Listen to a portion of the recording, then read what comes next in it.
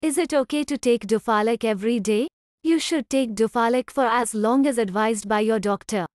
You may also take it for as long as constipation lasts, which may be up to a week. For hepatic encephalopathy, the treatment may be longer, even several months.